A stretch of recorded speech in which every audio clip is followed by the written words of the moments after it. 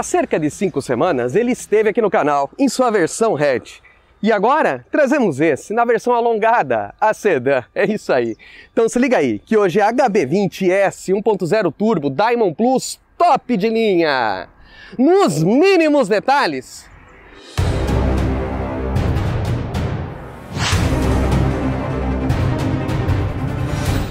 Olá pessoal, estamos a bordo do HB20S Diamond Plus topo de linha. Então o vídeo de hoje será aquela dinâmica já em rodagem, abordando as principais diferenças da versão sedã para a versão hatch, que aliás, sem vídeo anterior, que eu vou deixar os links aqui nos cards, para quem não viu, possa ver em detalhes todo o aspecto interno e externo da versão hatch. Então aqui, na versão sedã, ele chega ao seu consumidor final em quatro versões com sete variações de valores, que eu vou deixar todas elas aí no canto da tela e a gente vai batendo um papo. Então nós estamos, como eu disse, com uma topo de linha 1.0 turbo. E o seu preço comercial parte de 81.290. Esse modelo, ele tá com a cor azul safire. Então acresce 950 reais, chegando a 82.240. E o carro realmente é bem equipado e bem recheado de predicados aí para convencer muita gente. Então vamos começar pelo aspecto externo então ali pela frente, nós temos a mesma frente da versão do hatch, não tem alteração. É um conjunto ótico com parábola de longo alcance, com lâmpada halógena e também recebe a luz de assinatura de circulação diurna. Abaixo nós temos farol auxiliar com parábola de longo alcance. A sua grade na versão topo de linha recebe uma moldura cromado e o formato de hashtag ali do grafismo da grade. Percebam que na versão turbo ela é interculada, a turbina é interculada. Então nós temos o radiador principal do carro e também o radiador de intercule para arrefecimento da turbina, que é bem bacana isso. Vindo aqui para a lateral, nós temos as rodas modelo Vortex Aro 15 em biton com a face polida. O seu entre-eixos é de 2,53 metros, é o mesmo da versão hatch, que cresceu 3 centímetros em relação à versão anterior. O seu comprimento, aí sim, cresceu bastante, ficou com 4 metros e 26. São 32 centímetros a mais que a versão hatch, para dar um bom volume ao porta-malas. Tem 475 litros. São 175 litros a mais que o hatch, que tem 300 litros. O tanque tem 50 litros e o step é roda de ferro fina, de rodagem temporária. O retrovisor recebe indicação de seta e rebatimento elétrico por comando. E as maçanetas nessa versão topo é em cromado com acesso facilitado com chave de presença. Indo lá para trás, nós temos as lanternas Clear Vision bipartida invadindo bastante a lateral do carro, que ficou com um efeito luminoso bem legal. E também visual, ela é embutida dentro do metal, então ela não tem ressalto, é totalmente plana com a aerodinâmica do carro ela recebe sua grafisma ali do lado direito TGDI, dando referência ao motor turbo. Nós temos sensor de estacionamento traseiro e câmera de ré. E vindo aqui para dentro, nós temos algumas diferenças visuais em relação ao hatch. Então aqui, o Diamond Plus Sedan e o Diamond Plus Hatch é o mesmo carro até a coluna B, só vai mudar da coluna B para trás, que é a longa traseira. Então aqui dentro é tudo igual, a não ser por alguns detalhes de tom, de cores. Então toda a linha sedã ela é toda no tom cinza claro. Então é tudo aqui é mais claro que na versão hatch é em preto. E ah, também aqui ele recebe o acabamento em preto piano, sempre assim. Que no hatch ele é em azul aqui, como vocês puderam ver no vídeo anterior. Então as versões de entrada do sedã vêm em tecido cinza claro. E aqui na topo de linha vem esse couro bem clarinho mesmo, quase branco. É exclusivo da versão sedã que na Diamond Plus Hatch vem naquele dark brown, aquele marrom cela de cavalo.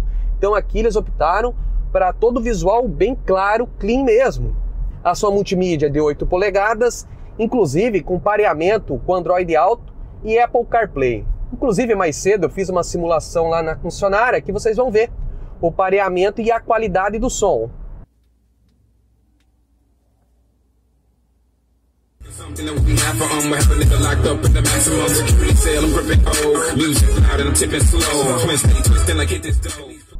Bacana, né? É um som realmente com bastante qualidade. Ele é um som assim, eu diria, justo, tá? Ele é uma qualidade para você escutar dentro do carro. Ele tem bastante volume e bastante agudo. Ele não tem tanto peso não. Mas assim, é condizente com a categoria. É um som para você escutar realmente numa boa. Ah, e o bacana também é que a mídia, a gente favoritou aqui um comando. Então apertando aqui, ele me dá a imagem lá da câmera, né, traseira. Isso vem a eliminar pontos cegos, porque a gente tem uma visão do que está acontecendo, do carro que está vindo lá atrás, bem ampliada, que você jamais teria olhando pelo retrovisor central e pelas laterais. Então aqui ele é com amplitude, ó. Então é bacana, você pode viajar na rodovia com o tempo todo com essa imagem virtualizada, né, do retrovisor, que é bem bacana. O ar condicionado ele é digital na versão topo, que vem aqui com display, como vocês puderam ver, que ele vai indicando ah, o fluxo de ar, temperatura, ele não tem modo automático. E tem aqui algumas teclas físicas também, de desembaçar o vidro traseiro e o para-brisa e a rolagem do carro ele desenvolve bem, ele é confortável. Então, aproveitando que estamos falando já né, de desempenho, o que nós temos debaixo do capô é o motor da família Kappa 1.0 turbo TGDI de 3 cilindros, com 120 cavalos e 17,5 kgfm. Isso tanto faz a gasolina ou etanol.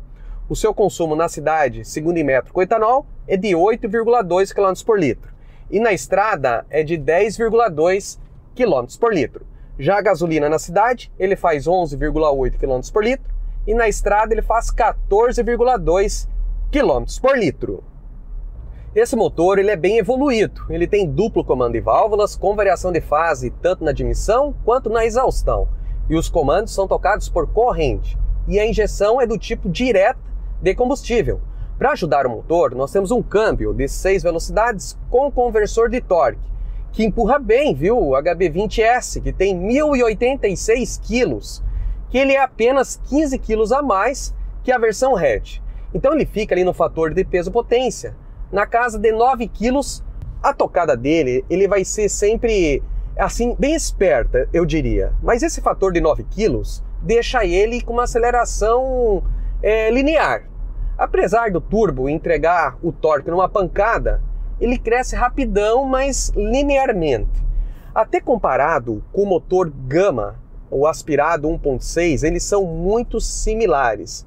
Então, para aquela pessoa mais tradicional, que não gosta assim de tanta novidade e queira um motor mais tradicional na linha, dá para ir na versão 1.6 Gama, que lá ele tem 130 cavalos no etanol e 123 na gasolina. Então aqui nós temos 120 cavalos com 17,5 kg. No 1.6 Gama, a gasolina nós temos 123 cavalos com 16 kg de torque. Então ele perde no torque. Então se equiparam, viu? Fica muito parecido mesmo. Só a tocada dinâmica do motor turbo que vai ser mais esperto de saída de sinaleiro, que ele vai te entregar o torque todo já em 1500 RPM. Então aí você vai sentir a diferença mas na rodovia viajando não. Eles vão ficar equiparados e você não vai sentir diferença não. O conforto aqui dentro é tal qual no hatch. Então até simulei e sentei ali atrás. Nós temos ali um palmo bem aberto de distância do meu joelho para o banco. Eu que tenho 1,70m. Nós temos quatro dedos de distância da minha cabeça para o teto. Nós temos cinto de três pontos para todo mundo, né? Apoio de cabeça para todos. Sistema de Isofix para cadeirinha de crianças. Nós temos quatro airbags de série, isso é em todos os modelos, então são os dois frontais e os dois laterais. E também eletrônica ao seu favor. Nós temos controle de tração e estabilidade, auxílio de partida em rampa. Nós temos também no topo de linha é, quatro diferenciais. Então, assim, é, além dos bancos e rebatimentos retrovisores, nós temos a parte de ACC. Então, nós temos aqui é, o alerta de faixa, que quando habilitado, fica verdinho aqui e você viajando ele tá lendo a faixa. Então se eu tento comer a faixa lá de dentro, ó, ele me alerta e pisca. Pro lado de fora também, ó, alerta e pisca. Então, se eu dou pisca que eu vou sair da rodovia, ó, ele não me critica. Aí ele entende que eu quero sair mesmo. Então isso é bacana, ter ajuda. Nós temos é, aqui o auto start stop, né? Que quando você para num sinaleiro ele vai desligar o motor para economia de combustível e também o alerta de colisão com frenagem de emergência, que quando habilitado ele vai lendo aqui a via. Então em baixas velocidades, até 50 km por hora, por distração do motorista, se você não freia e vai chegar no anteparo na traseira de um carro, o carro chega a frear totalmente evitando essas pequenas colisões de saída desse sinaleiro. Que isso aí é útil, viu? Então, isso vem sempre na versão Diamond Plus topo de linha. A direção, ela é com assistência elétrica, então em manobras ela é extremamente macia. E na rodovia ela vai ficando mais firme, te passando segurança. E nós temos regulagem tanto de altura como de profundidade. A suspensão na frente é do tipo Mark Persson e atrás é eixo de torção. Então eu tô aqui, ó, a 90 km por hora. Vamos dar um golpe do volante para ver? Vamos lá? Ó! Ó o controle de tração, cara! Ó, ó, ó baixou para 67. Então assim, ó, dá para perceber bem. O vídeo aí vocês vão perceber. Então a carroceria ela inclina bastante, tal qual no hatch. É o mesmo comportamento, viu? Não tem diferença não. Então ela tem aquele efeito de memória então você percebe que ele está entrando no alço de loop, então tem que tomar um pouco de cuidado. Só que o controle de tração está bem presente, então ele fica freando o carro, distribuindo a vetorização, deixando o carro alinhado. Mas você percebe um pouco de falta de segurança, assim. Mas o carro não vai se desgovernar, porque o controle vai te ajudar demais. Mas é bem tal qual a percepção que eu tive no hatch, uma suspensão bem macia, voltada para o conforto, para absorver, levar tudo pela frente. Eu até mais à frente vou pegar um cascalho para a gente entender melhor. Então assim, ela tem um pouco de efeito de memória, mas você entendendo isso e a eletrônica está ajudando, você vai ficar com o carro bem na mão. Ó, vamos pegar então aqui uma estrada de poliédrico para a gente perceber o isolamento acústico. Ó,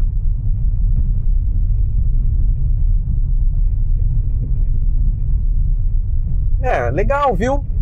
Ele tem um isolamento acústico. Você percebe o rodar né, dos pneus que invade um pouco a cabine, mas nada que incomode não. Vamos ver a questão de direção, alinhamento dele, vamos ver? Vai alinhadinho. É. É, só um pouco realmente o isolamento acústico que passa aqui para dentro da cabine. Que ele não é um carro de categoria premium para ter um isolamento acústico maior. Então os vidros são mais finos.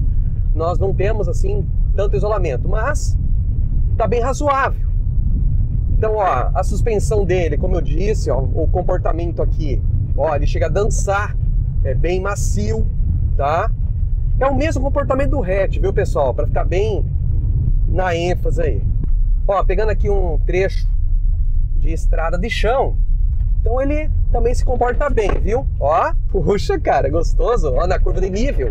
Ó, então ele não é um carro off-road, não. Mas tem 16 centímetros do solo, tem boa altura, dá para ir de boa que não vai, não vai raspar embaixo, não. Eu até vou aproveitar que eu estou numa área rural, que é seguro, vou decolar o drone ali na frente para vocês terem uma imagem do carro externa. Eu tô até com o pé atrás com esse drone, já tivemos dois acidentes aéreos com ele.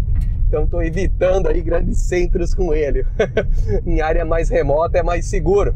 Então vocês vão tendo aí, vão acompanhando as imagens externas do carro. E o prazer de dirigir do carro é gostoso, o H dele é boa, bem boa visão, a área vidraçada é boa, se repete tal qual no hatch. Então assim, realmente vale a pena, viu? Vale a pena você conhecer a versão sedã aqui do HB20. Ó pessoal, eu vou repetir o teste do controle de tração e estabilidade no trevo com aquele sistema de a gente fazer com ele habilitado e desabilitado para vocês entenderem quanta diferença dá o sistema de controle de tração habilitado ou não. Só esperando passar os carros aqui. Ok, então com o sistema habilitado, vou fazer um load control para arrancar forte, pé na lata, ok? Ó, larguei, ó, ele patina um pouco, entra, ó, dosando, tranquilo, tranquilo, bem na mão, ok? Agora vamos repetir o teste com o sistema desabilitado. Da mesma forma, load control, pé na lata, foi! Ó como lenta, cara! Ó, ó, tá espalhando! Tá espalhando! Ó, caraca, velho! ó, dá pra perceber bem. Gente, é notável, né? É notável, fica no vídeo. Então, no primeiro tempo, com o controle de tração e estabilidade habilitado, o carro entra tranquilo, pacato, dosando, querendo desgarrar, mas entra cavando para dentro, compensando a aceleração tranquilo. No segundo tempo, com o sistema desabilitado, muda tudo. O carro fica divertido, entra cantando pneu, espalhando bastante de frente, que isso é bom, ele é previsível. Então ele sai de frente e você compensa aqui na direção, ele vai compensando um pouco, trazendo ele, e ele vai espalhando de frente. O ruim mesmo é quando ele escapa de traseira, que daí ele roda, tu vai pro mato. Então, escapando de frente, é só você tirar o pé do acelerador que ele retoma a trajetória. Ali eu deixei o pé na lata o tempo todo. Então, assim, como é em baixa velocidade, é tranquilo, dá para fazer, é um trevo. Né? Então, mas dá para perceber bem o quanto o sistema de tração e estabilidade é importante no veículo e deixa ele bem na mão.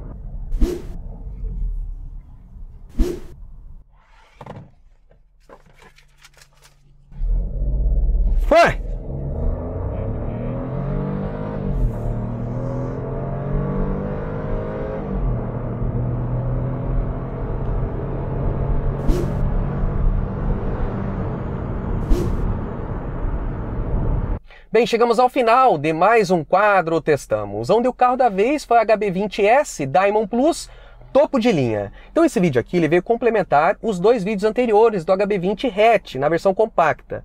E vocês puderam comparar o que, que o sedã tem em relação ao hatch. Então assim, as minhas percepções de dinâmica, de aceleração, suspensão, 0 a 100, é, puxada, é a mesma do hatch, não mudou não. Balanço de carroceria é o mesmo também. O conforto a bordo aqui é tal qual lá no compacto. Você não percebe que você está no sedã ou no hatch. É o mesmo espaço a bordo, mesmo conforto. O que vai mudar aqui realmente é o porta-malas, que tem 475 litros. São 175 litros a mais que no hatch, que tem 300. O tanque é o mesmo tamanho de 50 litros, é tudo igual. E aqui a vibe, a tocada que deixaram no sedã é tudo na linha clara, no cinza claro, que no hatch é em preto. E também aqui o acabamento ao centro em preto piano, que no hatch é em azul. E a forração no Diamond Plus é em couro, bem clarinho, que no Diamond Plus hatch é naquele marrom dark brown, parecido com cela de cavalo. Então essas foram as diferenças mais impactantes assim visuais, né, do sedã para o hatch. Então fica a dica, se você está procurando um sedã muito bem acabado, ergonômico, bom de dirigir, caprichado eu diria, fica a dica, HB20S Diamond Plus topo de linha, tá ok? Eu quero agradecer à concessionária Zendai Hyundai aqui de Foz do Iguaçu, no Paraná, que nos cedeu esse carro para o teste de hoje. E agradecer a todos que vêm acompanhando o canal Busca Play.